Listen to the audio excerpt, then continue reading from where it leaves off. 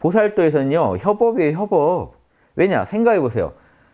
내가 이번 생에 와서 공부를 했는데 이 사람들은 열반밖에 안 찾아요. 대승을 얘기해 주고 싶은데 열반밖에 얘기를 안 해요. 그럼 열반밖에 못 가르쳐 줘요. 그러면 다음을 기약해야 되잖아요. 다음에 누가 와서 또 대승을 가르쳐 주리라 하는 그런 걸 그 정도도 모르고 보살도 하면 안 됩니다.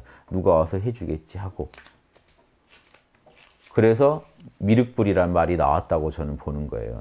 메시아 부처가 온다. 그 사람 오면 뭔가 도가 더 퍼질 것이다. 근데 저 500년 뒤에 예수님이 나와서요. 대승보살도를 천명합니다. 이거 불, 자분들이 이거 모르시면요. 종교 다르면 보살 못 된다라고 믿고 계신 거랑 똑같아요. 화엄경 사상이랑 다른데요.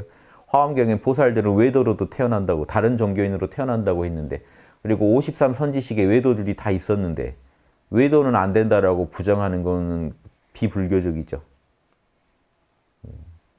예수님 성경을 한번 보시라고요. 대승불교 경전보다 더 먼저 이 얘기를 합니다. 하나님은 한 명도 구원에서 빠뜨리려고 하지 않으신다. 한 명의 작은 아이라도 실족시키면 그 죄는 클 것이다. 그 아이도 하늘은 구원하기를 원하고 그 한 명을 구했을 때 다른 사람 구했을 때보다 더 기뻐하신다. 요 보살, 이 보살 사상을요. 저쪽에서 예수님이 천명합니다.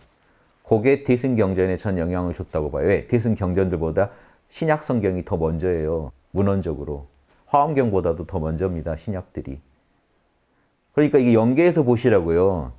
내정교, 남해정교로 보시면 이런 말이 다 엉터리겠지만요. 보살들 간에 지금 협업이 이루어지고 있는 거예요. 예수님이 이쪽에서 출연하면서 유대교가 뒤집어집니다. 유대교는 이스라엘만 구원된다고 믿었는데 예수님이 오셔서 전 인류가 구원될 거고 한 명도 빠뜨리지 않으신다라고 바꿔버린 거예요. 완전히 대승으로 바꾼 거예요. 소승적인 유대교 사상을. 동시에 인도에 소승적인 불교, 아라한들만 성불한다, 이게 구원받는 성불이 아니고 해탈한다는 이론을요, 모든 인류가 대승 사상에 입각해서 구원받아야 된다는 사상으로 바뀌는데 저는 분명히 일조했다고 보는 겁니다. 왜? 그만한 보살이 한 분 다녀가시면 바뀌어요, 사상들이.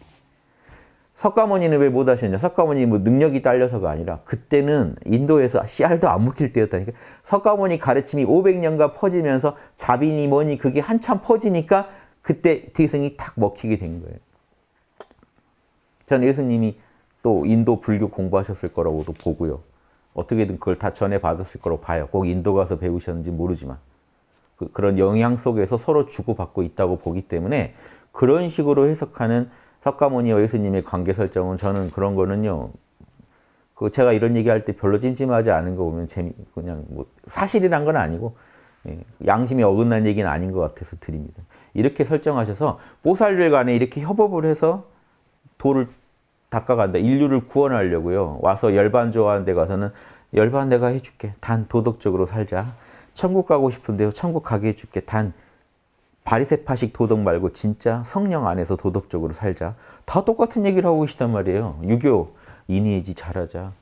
불교, 육바라밀 잘하자. 다 똑같은 얘기를 하고 있단 말이에요.